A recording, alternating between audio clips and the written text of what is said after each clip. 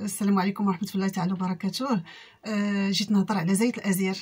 المهم بزاف للشعر غنهضر غير على الخصائص ديالو ديال اللي تيعطينا في الشعر. فزيت الأزير تيخلي لكم واحد الرائحه طيبة رائحة جميلة جدا في الشعر ديالكم.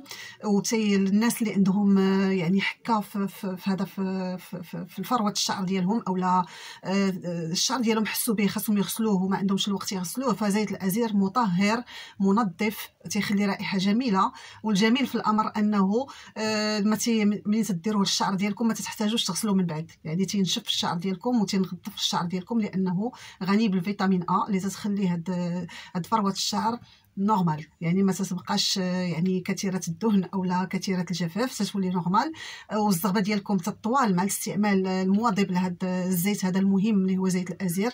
أه حاجة ثانية اللي مهمه أنني نذكرها لكم هو أنه الزيت الوحيد من بين الزيوت الطبيعية اللي تيخدم بنفس الخصائص اللي تتخدم به المينوكسيديل المينوكسيديل اللي هذا اللي معروفة تتعطى من طرف أطباء الجلد لانبات الشعر فهو الزيت الوحيد اللي تقدروا أنكم تعتمدوا عليه غير هو زيت آه تيخدم بنفس المفعول ديال هذا المينوكسيديل بدون آه أعراض جانبية. نتمنى أنني نكون بارطاجيت معكم موضوع مهم اللي اللي خاصكم هذا تسمعوا له وتطبقوه.